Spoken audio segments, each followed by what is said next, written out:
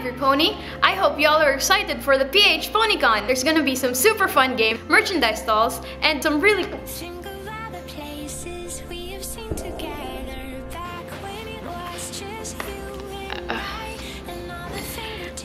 hope to see you there.